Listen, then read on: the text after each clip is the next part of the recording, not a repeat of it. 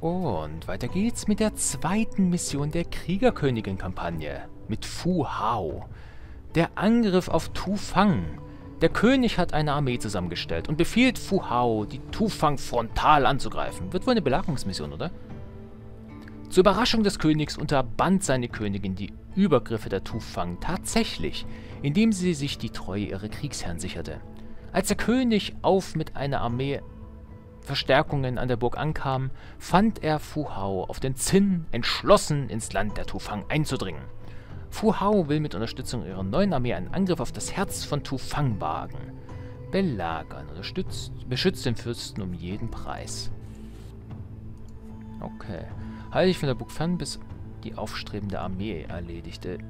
Okay. Kommt da so ein Ausfall oder müssen wir uns erstmal wirklich verteidigen?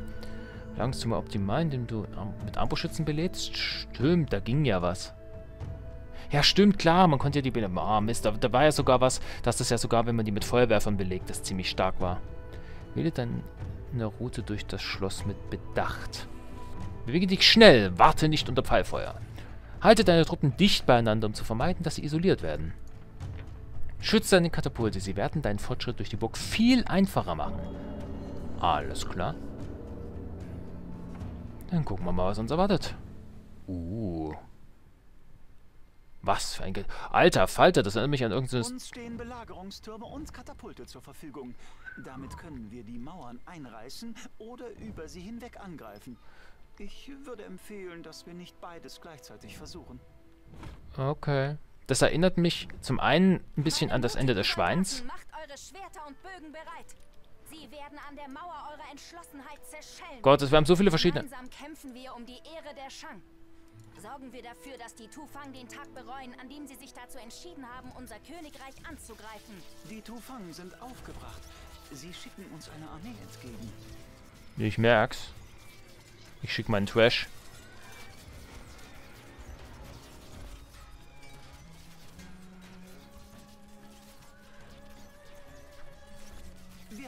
Angriff widerstanden, Hoheit.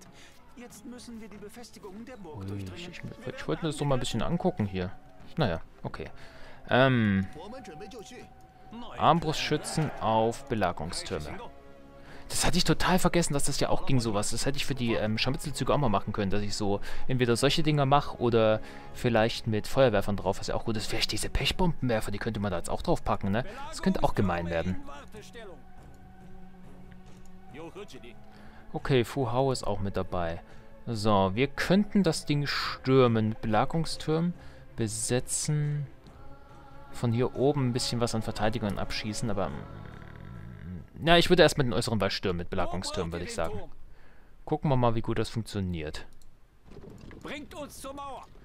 Wir werden sehen.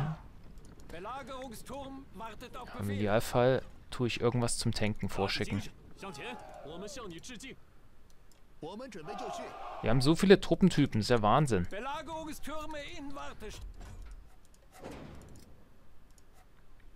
Wir sind wirklich schon fast ins Ende des Schweins, wo man einfach eine riesige Armee da stehen hat. Größer als alles, was man jemals sieht mehr in der Kampagne. Selbst beim Ende des Wolfs ist ja ein Witz da, da stehend. Erneuter Einsatz. Welch eine mächtige Festung, Hoheit. Wie sollen wir den nur je einnehmen? Hat er ernsthaft gepfiffen? Ich wollte gerade sagen, ist das jetzt euer Ernst, dass der jetzt hier so einen Pfeifer gemacht hat?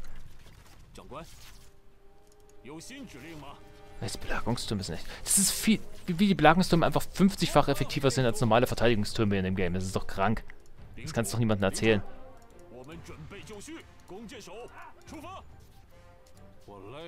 Können wir bitte hoch? Können wir bitte unsere Armbeschützen nicht abschießen lassen? Können wir bitte die Kavallerie wegmachen? Kann ich mal aufs Klo bitte? Ich glaube, ich müsste mit dem Verbergungsturm einfach vorbeifahren und alles hier drive bein. Ich glaube, das ist viel besser als alles andere. Die muss ich echt mal häufiger einsetzen in Zukunft. Hier, guckt euch mal den Drive-By an. Die gehen, da vor, die, die, die gehen da vorbei und böllern einfach alles weg.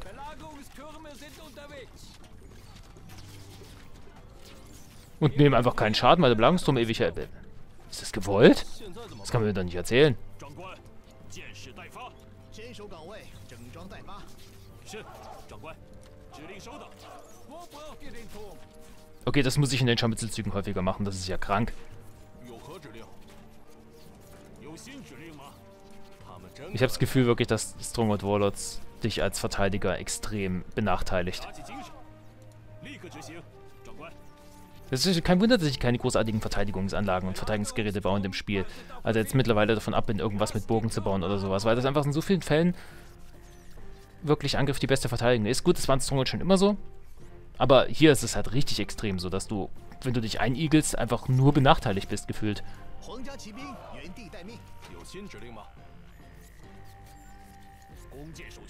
Äh, die machen jetzt hier mal noch weiter weg. Das sieht eigentlich ganz gut aus soweit. Gespeichertes Spiel überschreiben? Kann ich mit dem Belagungsturm eigentlich wieder wegfahren? Abdocken wieder oder so? Nee, kann ich nicht. Gut, dann war das fast ein Nachteil, angedockt zu sein. Aber ich habe noch einen. Ich habe noch einen. Einer geht noch.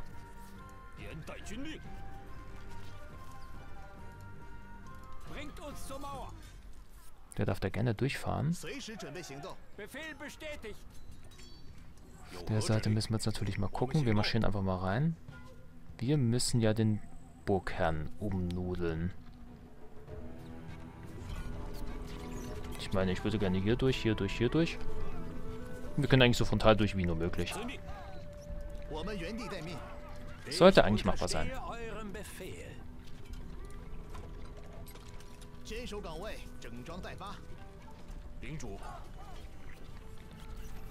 Sobald ich hier auf. Mauern können dem Geist eines Schankriegers nicht widerstehen, wenn er auf Rache aus ist. Wir werden angegriffen. Mhm. Jawohl. Sicherlich.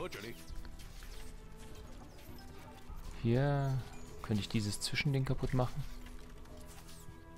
Äh, wa wa was? Das ist ein Bug, oder? Alter! Aber das ist übelst geil. Das hätte ich gerne mal so, so absichtlich mal auf meinen T Tors platziert. Unsere Felsen sind bereit. Wo ist die Belagerung? Okay, so viel zu meinem Belagerungstürmchen. Belagerungsturm wartet auf Befehle. Dieses Bauwerk ist unzugänglich, Hoheit. Katapulte sind geladen. Euer getreuer General. Ich stimme da jetzt einfach durch. Ich versuche das einfach. Wenn es nicht klappt, kann ich immer noch laden. Katapult ist bereit. Äh, Katapulte wollen nicht, okay. Katapulte sind unterwegs. Alle Bogenschützen bitte vorwärts. Wir wollen hier bitte durch. Och, das sind Tiger.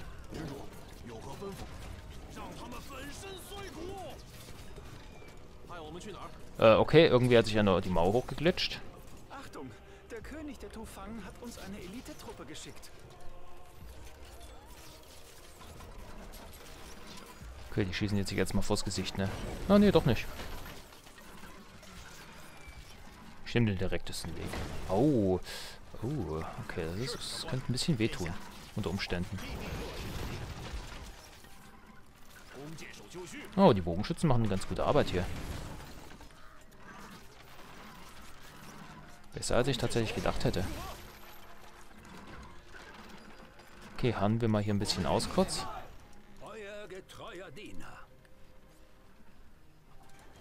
Können wir, kann ich den wenigstens...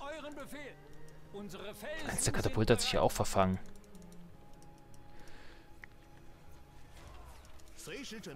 Hätten wir vielleicht so irgend so eine Billo-Einheit hier, die für mich mal...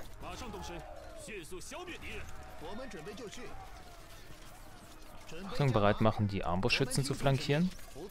Dann nehmen wir schon mal viel Schadenspotenzial raus. Hier kommt mal hier hoch. 箭手就绪，我们准备就绪。 Kampfpläne? 我们原地待命。坚守岗位。 Das sieht ganz gut aus. Was sind eure Gedanken dazu? Ähm, ja, ich hätte gerne irgendeine Billo... Haben wir nichts mehr da, ne? Dass ich mal irgendjemanden sagen kann, bitte. Katapulte sind geladen. Im Notfall lasse ich eins der Katapulte mal da runterschießen, weil ansonsten, die wollen ja irgendwie nicht hier durch. Wir haben sie eine unsichtbare Mauer. Aber wenn ich das hier irgendwie zerstört bekomme... Habe ich höchstwahrscheinlich Freundbeschuss, aber was soll's.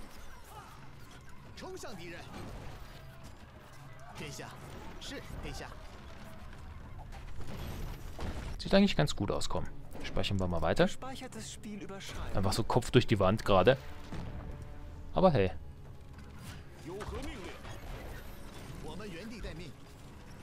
Spätestens seitdem sich mein... mein Belagungsturm verabschiedet hat, habe ich langsames Vorrücken aufgegeben. Einfach der zweite, der hätte mir echt viel gebracht. Damit hätte ich jetzt diese gesamte Mauer da stürmen und einnehmen können. Oder einen anderen Abschnitt. Oder den da drüben, das wäre noch wichtiger gewesen. Da hätte ich wirklich alles holen können, ne? Alles wäre offen gewesen.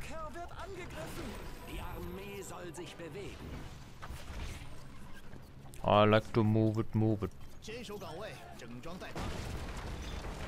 Habe ich? Ah, natürlich ist der Belagungsturm kaputt gegangen. Aber ich habe meine Armbeschützen. Immerhin. Hindurch. Was soll ich tun? Ihr kommt mit vor. Eigentlich brauchen wir unsere Keulenschwinge. Ich glaube, das schaffen wir noch.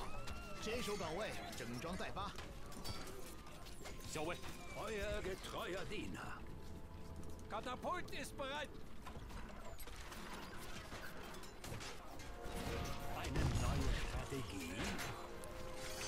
Die halten sich aber ziemlich lange. Okay, weil die auch den, den einen Flaggenträger hier mit dabei haben.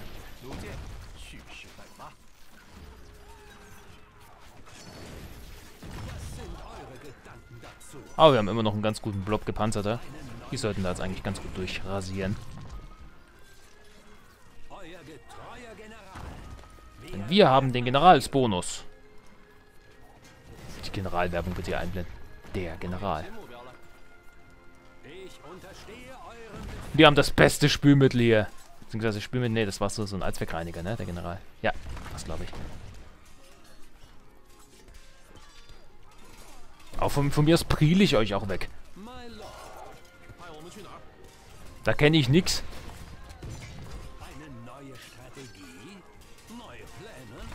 Euch spüle ich auch ohne Gummihandschuhe, das sage ich euch.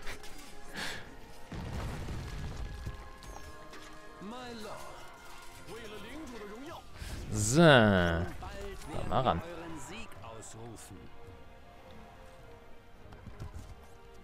Das lief, wir haben sogar noch, dafür, dass wir einfach kopfüber rein sind.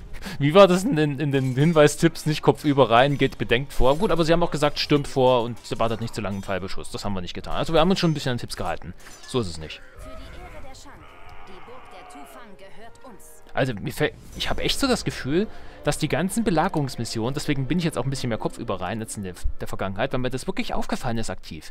Die Belagerungsmissionen sind leichter als die Verteidigungsmissionen. Was ähm, in Bezug auf Stronghold eigentlich totales Sakrileg ist, weil das war immer andersrum bisher. Hm.